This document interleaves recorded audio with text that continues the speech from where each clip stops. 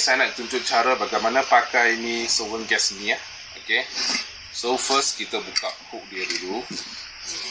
Lepas tu gas ni kita masuk sini nampak ada dua dua lock kan. So gas ni kita masuk bawah dulu, masuk ke dalam lock tu. Lepas tu masuk atas ni ada lubang ni masuk. Lepas tu kita pusing. Okay.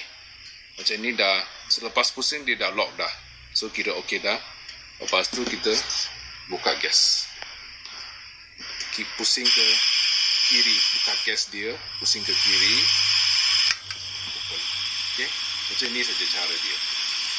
Tutup. thank you